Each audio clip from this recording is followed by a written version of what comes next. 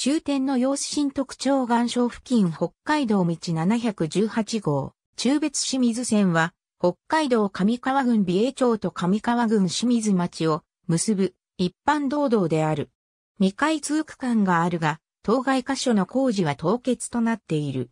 大雪山を縦貫する大雪縦貫道として計画されたが、1971年までに自然保護運動を受け中止が決定。1972年には国立公園の特別保護地区をトンネルで抜けるルート変更案が提示され、環境庁も一時は建設容認へ動いたが、1973年に北海道開発庁が計画を断念し取り下げ、戸村牛温泉美瑛町川の工事が凍結となり、現在に至る。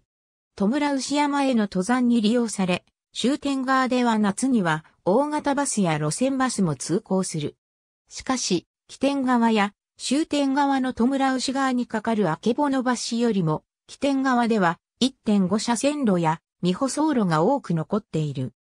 主なトンネル主な橋梁常設型ゲート起点側の開通区間は、変別側にかかる美瑛町道路を根ない上、田原誠府線の上田原マップ橋を渡った先、付近からで、川の右岸を上流へしばらく進んだ後、橋を渡って、左岸を進み終了となる。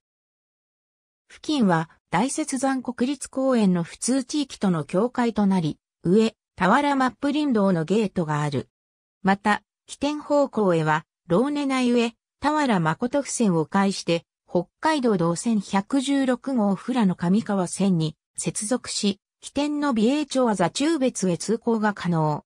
終点側は、富良牛自然休養林八重城付近から始まり、U 戸村牛川、十勝川沿いを終点まで進む。渡辺淳一が、峰の記憶の題材として取り上げた。ありがとうございます。